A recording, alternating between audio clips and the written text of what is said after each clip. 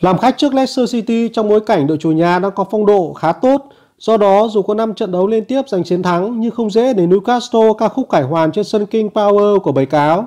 Chào mừng quý vị và các bạn đến với chương trình nhận định soi kèo dự đoán kết quả bóng đá ngoại hạng Anh trên kênh YouTube Tin bóng đá. Mong các bạn ủng hộ chúng tôi bằng những lượt like, lượt chia sẻ video và đăng ký cho kênh. Sau hơn một tháng nghỉ nhường thời gian cho các đội tuyển quốc gia thi đấu tại World Cup 2022, cuối tuần này các giải vô địch bóng đá quốc gia châu Âu trở lại. Hơn lúc nào hết, người hâm mộ bóng đá trên toàn thế giới đang chờ những trận cầu hấp dẫn này lửa tại ngoại hạng Anh.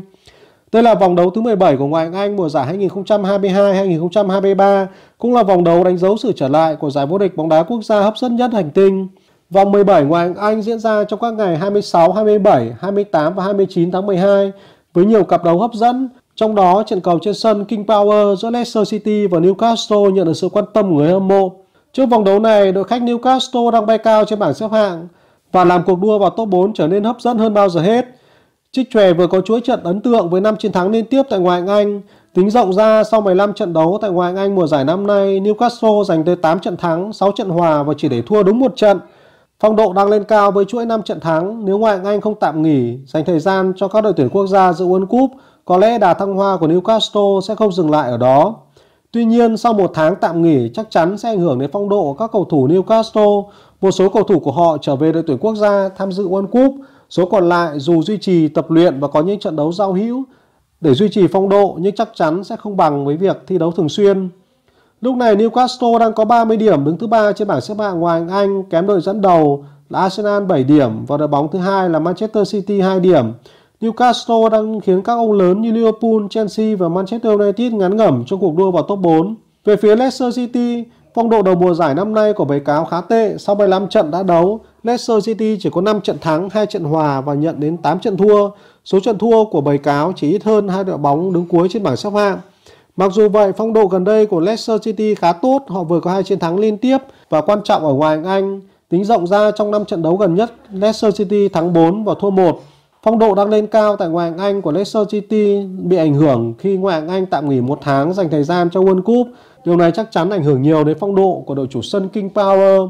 Trở lại với trận đấu ở vòng 17, dù được chơi trên sân nhà nhưng Leicester City được dự báo gặp rất nhiều khó khăn trước một Newcastle đang có phong độ cao.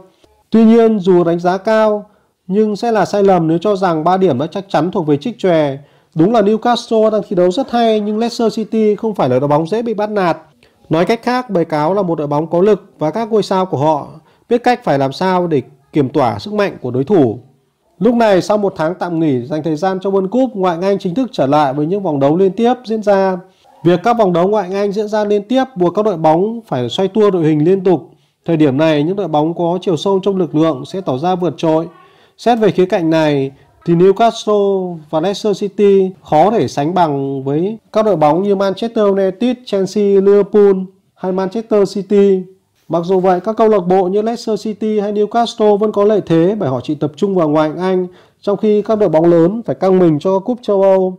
Thời điểm sau Giáng sinh và Tết Dương lịch sẽ là lúc ngoại hạng Anh bước vào giai đoạn căng thẳng với những trận cầu liên tiếp trong những ngày Boxing Day. Lúc này sau gần nửa mùa giải đầu tiên, Arsenal đang đứng vững ở vị trí đầu bảng Đối thủ bám đuổi trực tiếp của họ chính là Manchester City. Đáng chú ý, cuộc đua vào top 4 cũng đang cho thấy dấu hiệu vô cùng hấp dẫn với sự mạnh lên của Newcastle và Newcastle đang khiến Chelsea, Manchester United, Liverpool hay thậm chí là Brighton, Tottenham ngán ngẩm trong cuộc đua vào top 4. Trở lại với trận đấu giữa Leicester City và Newcastle liên quan đến tỷ lệ kèo giữa Leicester City và Newcastle. Leicester City đang là địa chỉ đỏ trên sàn giao dịch châu Á với 7 trận liên tiếp giành chiến thắng, bao gồm hai trận đấu chấp 0 1 phần 4. Ngoài ra bài cáo có thắng kèo 2 trong số 3 trận gần nhất, đó tiếp Newcastle trong khuôn khổ ngoại hạng Anh. Ba trận đối đầu vừa qua trên sân Leicester City đều khép lại với từ 3 bàn trở lên kịch bản tương tự diễn lập lại đêm nay hai đội đang có phong độ cao và xíu chân sút bén duyên vì thế tỷ lệ kèo tài về bàn thắng trong trận đấu giữa Newcastle và Leicester City rất dễ xảy ra.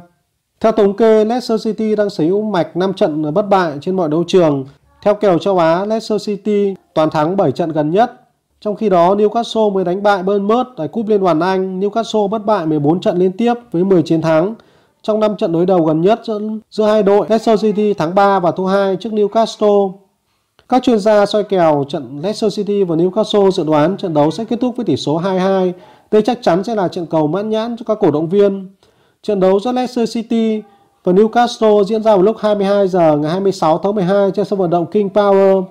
Theo bạn giữa Leicester City và Newcastle đội bóng nào sẽ giành chiến thắng?